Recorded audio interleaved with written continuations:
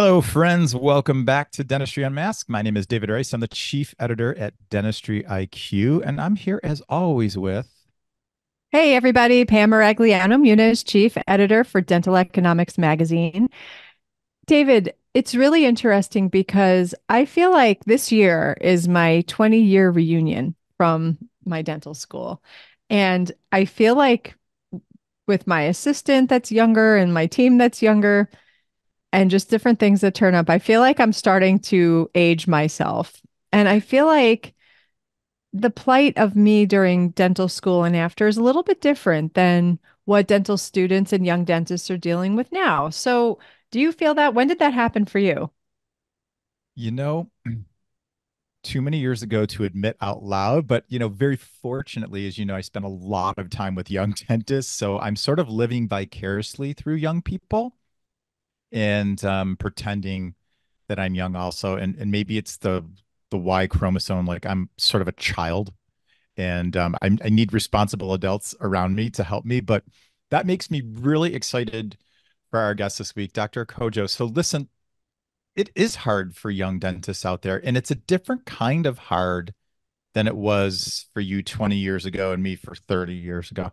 But um, it's a different kind of difficult and it's i think it's too easy for us to get lost in the you know well i walked both ways uphill in the snow barefoot in the whole nine yards story that people tell themselves. So first of all welcome dr Codjoe and we're so excited to have you here. Love to hear a little bit about you and then we'll dive into like the bigger story here. Yeah well first of all thank you guys so much for having me on your podcast um, I follow you guys. I'm like, oh, it's such an honor to be, you know, on your podcast. So thank you so much about that. Um, so a little bit about myself. Um, I graduated dental school in 2018. So I've been practicing for about six years or so, based in Chicago currently. Um, so dental school in Birmingham, and then I moved to Chicago here to do a GPR residency. Um, and then I've been practicing ever since.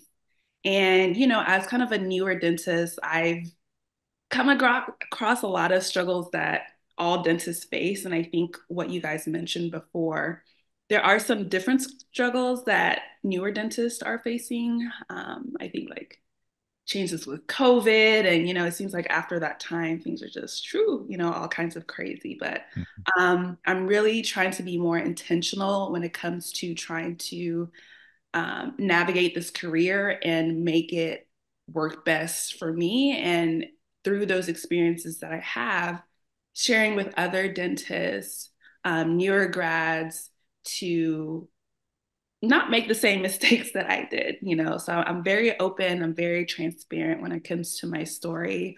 Um, and I also really want dentists overall, not just newer grads, but all dentists of all ages um, to be honest about what we're what we're dealing with and what we're struggling with because um, I feel like we keep that in a little bit too much and then you know it comes out in a bad way and um, I just want us all to be here for each other.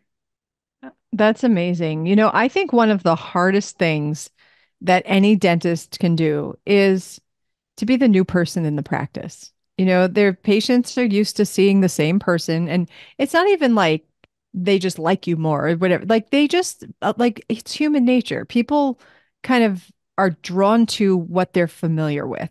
So if they've been seeing the same dentist for 15, 20, 10, whatever that number is years, they're just kind of used to the that same face. And now you're bringing in somebody else and now you're hoping that patients are going to embrace that next person the same way that they're embracing you now. I feel like we tend to forget what that was like in the beginning. And it's really hard, right? I mean, now tuition's never been higher, interest rates are through the roof. The challenges on a new new grad, young dentist are are real. And you're now faced with trying to get your feet wet in this practice, get comfortable with your new skill, trying to get comfortable with timing of your different procedures, but also you got bills to pay, right? And like how do you how did you manage that because it's not easy. It's not easy. Um, so I'll tell you guys about my first job as a practicing dentist. Um, so I finished up with my GPR and I found this job in Chicago. And I really do, and I mean, I have nothing bad to say about the, the office or the owner or anything like that. Um, so I went in and I was um, production based. So I was like, okay, you know, production based, you know. Um, but it got to a point where there were not enough patients. And so being production based, if you don't see patients, you don't, you know, you don't get paid. Um, I asked for a minimum, like a daily guarantee, just to, you know, even before all this started, I asked for that. The owner was not able to do that. Um, and so my schedule just started to dwindle and dwindle. And if I did see patients, I was seeing prophies. Um, so you can imagine how crazy things have been um, or things were um, for me. So, and many of you guys are, I don't know, but I shared my story of how I started driving Lyft, you know, because I had to make ends meet. Here I was, fresh out of residency, in private office, struggling to pay my bills, which honestly, I never thought as a dentist I would have those issues or those struggles. Um, I was making more in residency than I was, you know, as a practicing dentist. So that just kind of gives you um, a viewpoint of, of where things um, were for me. So it was really tough. I really, really struggled with that. I just remember driving Lyft and I was just like, I can't believe I am doing this right now. Of course, I'm the I'm the type of person too. In the past, I if I need to make ends meet, I will do what I need to do. In college, I would do research studies, like be a test subject for all these different things. So I have no issue um, doing what I need to do. But for me, it was just so like mind boggling to me. Like, okay, I spent all these years in school and here I am. Mm-hmm. Okay, you're at the airport, you know? So it's just, it was so crazy to me. But um, I feel like I needed to kind of go through that in a sense. Um, so I would know in the future what to look for in, in different offices, um, what to ask for, know what my value is too as well. Um, and so it, it, was a small part of my journey, but it was still a really significant part of my journey too, um, because I learned a lot from that experiences and the following experiences that I would have in the future too. Um, but yeah, I just don't think people think that this will be an issue. And I've talked to other dentists that have done the same thing, you know, but no one really, no one wants to say, oh, I'm a doctor, but I had to drive Lyft or I had to um, do Uber Eats, you know, to make ends meet. That's just not in our narrative. Uh, but I want to let people know hey, there's some ups and downs, you know, that we're all going to face, and it comes in different forms and shapes and everything like that.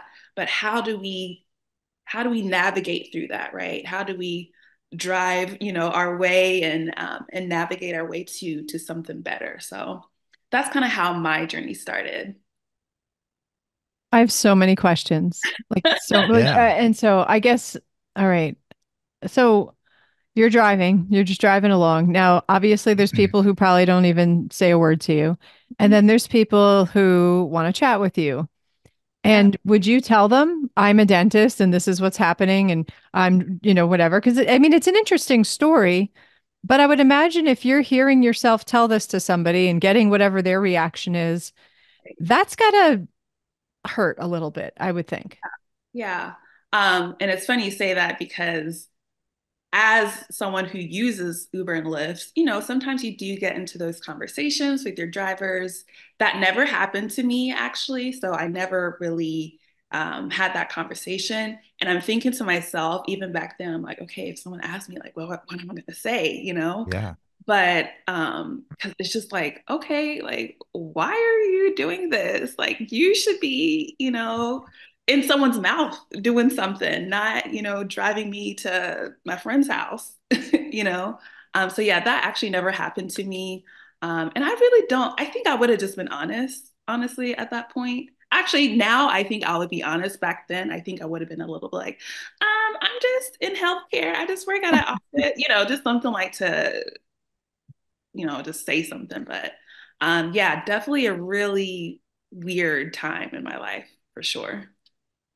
But along those lines, it sounds to me like you could have done something else. Like, for example, there are some new grads that kill themselves in a DSO. You know, like they like sign up and they like sign up for 5 days and they're just like cranking it out, turning but it's, you know, it might not be the career that they're looking for or maybe it is because obviously some people that just is where they thrive and mm-hmm. that's awesome. But I, I you know, given the struggles of the new grad, somebody, you know, now having loans to pay and that kind of thing, it sounds to me like you were trying to stay true with the way you wanted to practice and in doing so, you kind of did this to kind of get you to that point. Is that a correct assumption? Assumption. yeah. Um, and you know, everyone has their own opinions about DSOs, and to each their own, right? Um, I personally have never worked for one. I've heard just a lot of things that my other colleagues have gone through, and for me, that's just not what I feel like I want to go through. Again, not saying that every DSO or whatever the case might be is going to be like that, but for me, I heard enough to be like, all right, you know, I want to be in an an office setting where I feel like things are a little bit more controlled, you know, to, to the best of our abilities, um, where I'm able to really spend the time that I need with my patients, that, you know, I don't have to be rushing all over the place, which, you know, sometimes that does happen. But I just, I really did not want to burn myself out this early. Um, so that's why I kind of went this route. I always knew I would get calls, texts, emails all the time from a bunch of companies. Oh, sign on bonus here, salary here, benefits there. And it sounded great, you know, but it's like, man, do I really want to give up my, I don't want to say happiness, but like, I just don't want to be in a position where I'm just dreading work. And you think about how much time we spend at work on a weekly basis. And of course, that varies for everybody, but like the normal 40 hours a week, you know, that's a lot of time. Um, and that's a lot of, that's, that segments a little bit into why I went into locums as well, but that's a different topic.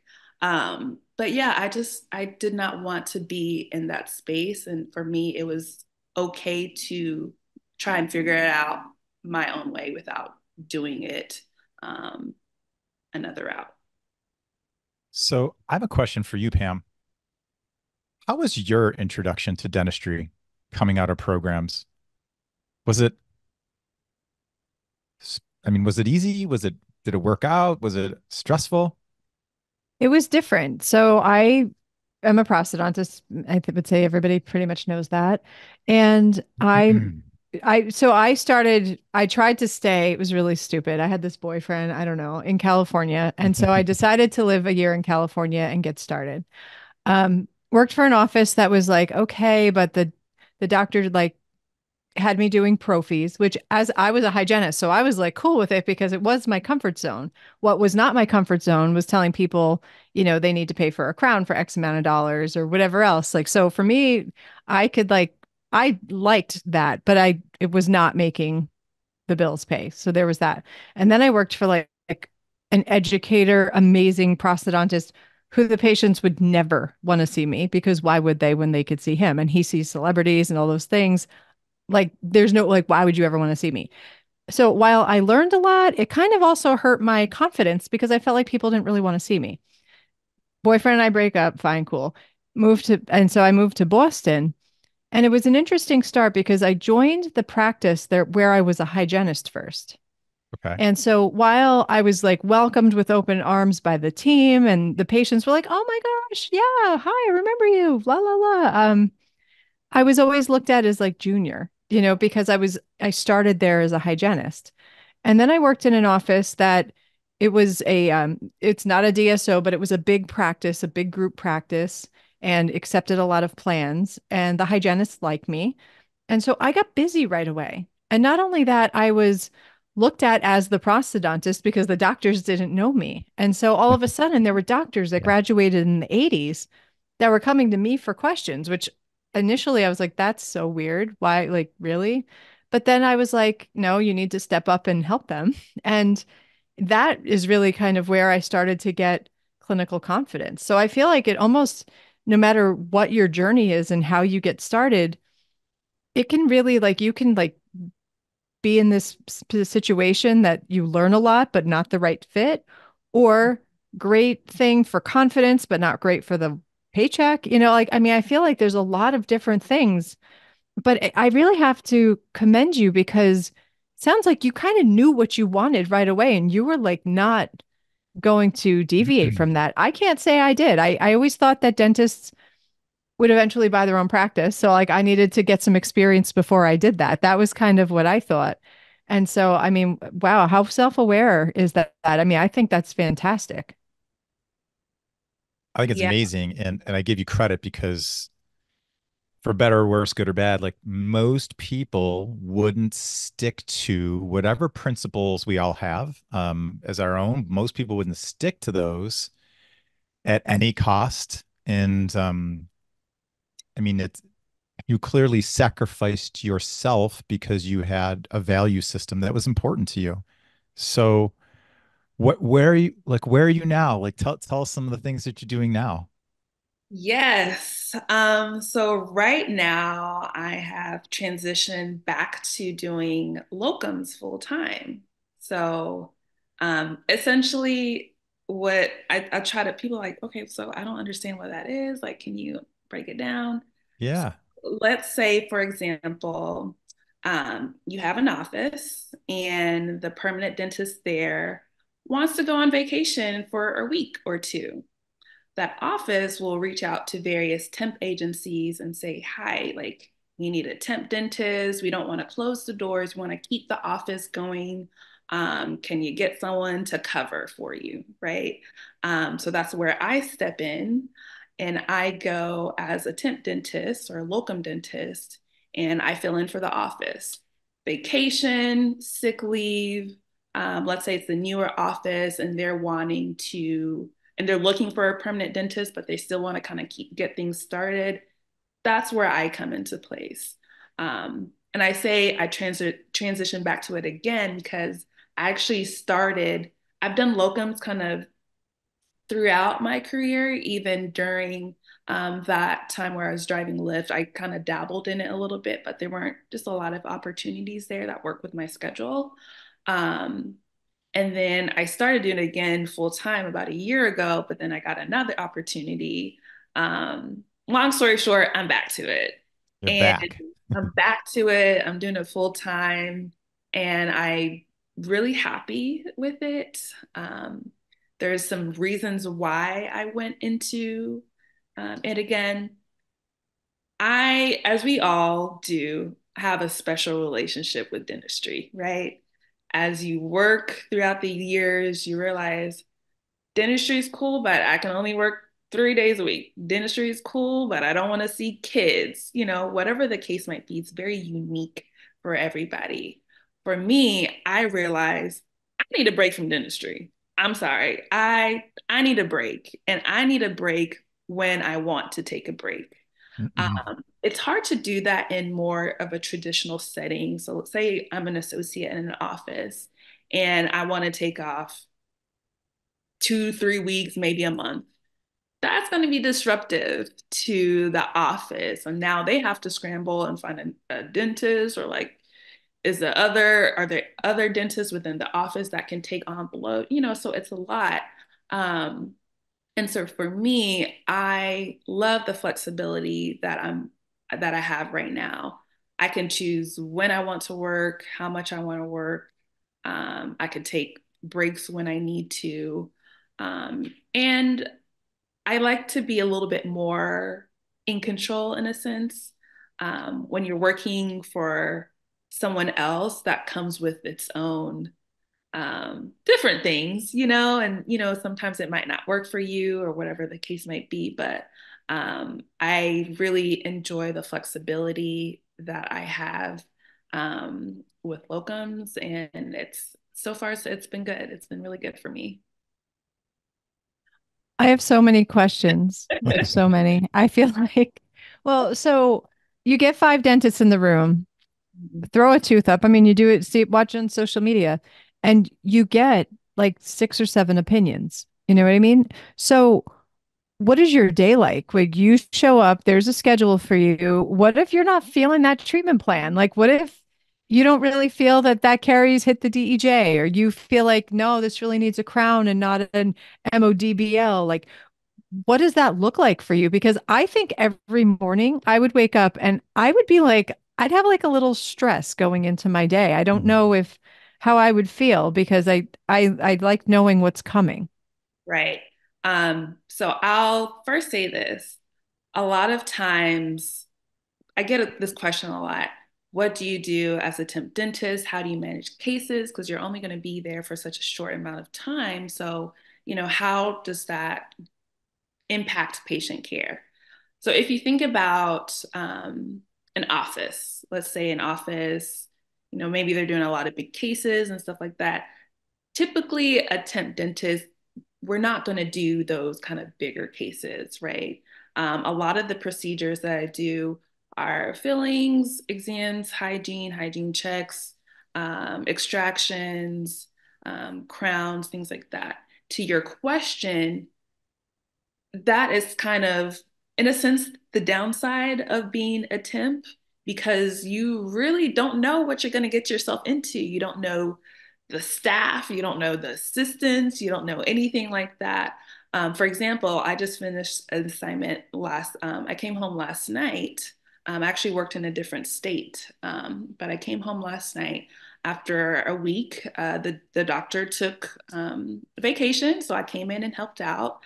Um, I was able to look at all the treatment, all the patients for the week, and they told me, hey, like if you feel like you need more time for this or you feel like you don't want to you don't feel comfort- comfortable doing this we can adjust the schedule as needed okay? Um, now let's say i do get into the procedure and i'm like you planned this but i don't know about that. At the end of the day it's your license on the line you know? And you really have to stand behind your work and what you do and um, that's what i do you know? I did change a few things like a few um, treatment plans that I saw during the week because I felt like, oh, I feel like this wasn't, not that it wasn't right, but I felt more comfortable doing something else. And I always make sure to write down my justifications. I, write, I write very detailed notes too, so that when the um, the permanent dentist does return, they're able to kind of see what I did as well. But um, yeah, that's like I said, it's just one of those things like even the first day, I was like, like, what am I going to get myself into? You know, thankfully it was amazing, amazing office. I had, you know, a really, really good time with everyone there. Um, but it's kind of a toss up, you know, it's kind of a toss up and it might not work well for everybody because you just don't want that surprise. You know, it could be a good surprise, it could be a bad surprise. Um, but yeah, that's kind of how uh, my day to day to day goes there. So I and I like your I love your outlook. You, you mentioned earlier like one of the one of the benefits mm-hmm. of what you're doing right now. One of the things you really like is like the flexibility and your ability to kind of control your life and your schedule. And then you you know you just mentioned that you just you came back from another state. So do you do you like to travel um lots of different places? Is that part of the you know your plan with all of this? Um, I love to travel, period. Um, okay. That's just who I am. I like to see new people and experience new things. Um, I'm currently licensed in two states, um, probably going to be licensed in the third state. Um, and I enjoy that. You know, I like you know, going somewhere else for the week, you know, and, you know, doing my work there and returning.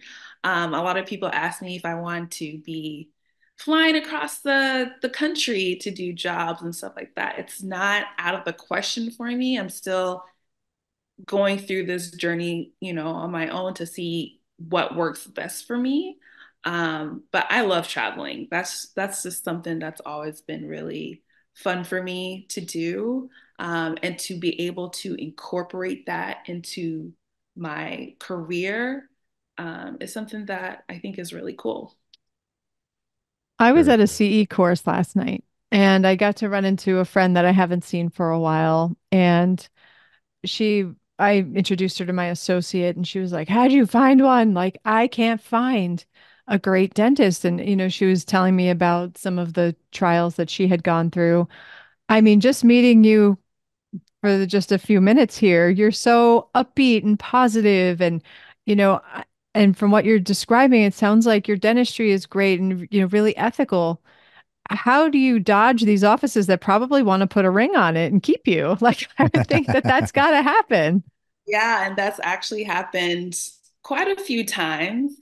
Um, and that's another good thing about being a temp doctor. Like, you do get to go across and meet a lot of different offices and see how people do things, you know, because each office is different in that way. Um, and I do know people who have done um, locums and they've actually find like their their home office, you know, through that process. Um, but for me, yes, I've been offered different jobs from places that I've I've worked at as well. Um, I think it all comes back to what works best for you, right? That's different for everybody. I literally had to sit down. It was probably about a year or so ago. I was I was really going through it with dentistry. So I sat down, I opened up Google, um, Google Doc, and I typed out what am I passionate about? What do I like about dentistry? What don't I like about dentistry? What, you know, I wrote everything down so I can literally just see everything in one place. And through the years and through being um, in these different settings and these experiences that I've had, I've realized that I need my flexibility. Um, I was in, uh, I worked at a FQHC for a few years, and that was an experience in itself, if we know how FQHCs can be. Um, but one thing I really didn't like for myself is being restricted. You can only get five, six day, five sick days a whole year. You can only have two vacation weeks a whole year. And for me, it's just like we all know what dentistry entails, right? It is not an easy career, it is not an easy profession.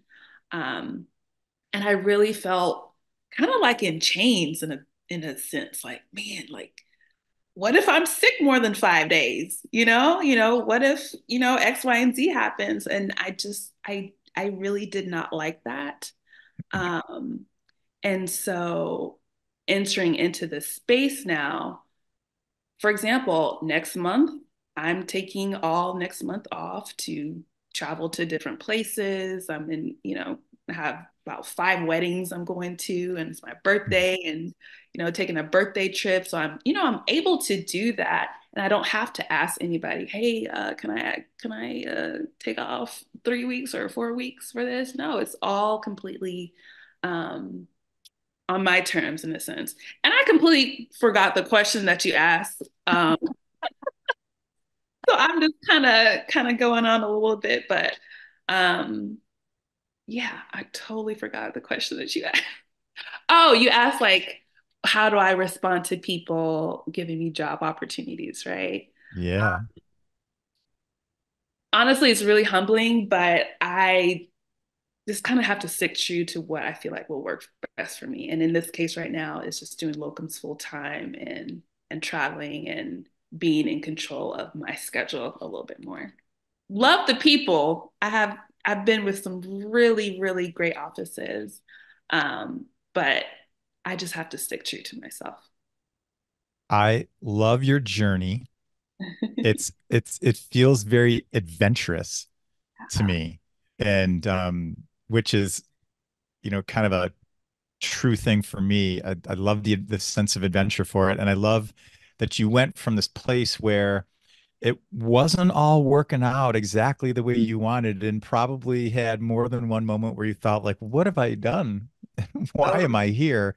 To this new place where you have um, total control over how you want to practice and and live your life. It's a really tremendous lesson, not just for young dentists. So those of us who've been in this for a while, like when you wake up mid-career and think, why am I doing this way? Like understand like we all have options and we have to figure out who we want to be when we grow up at any age. But this is a you're you're a great example to to so many of us. Pam, I it's I can't believe we're like almost knocking on the 30 minute door, Pam. So holy schmoly.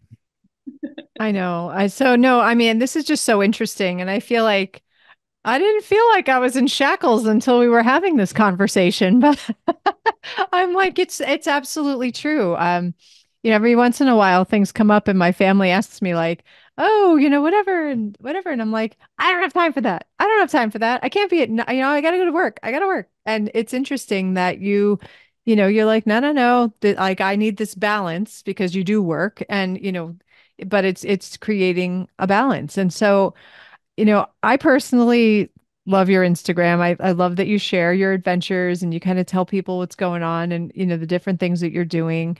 Could would you share where people can find you? Yes, I am on Instagram at I'm a Black Dentist.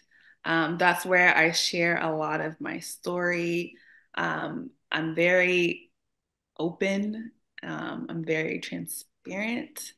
Um, and I, with this locum journey too, a lot of people have been kind of following along because uh, there's a lot of curi- curiosity in this space. It's not a new thing, by the way. A lot of people are doing it too.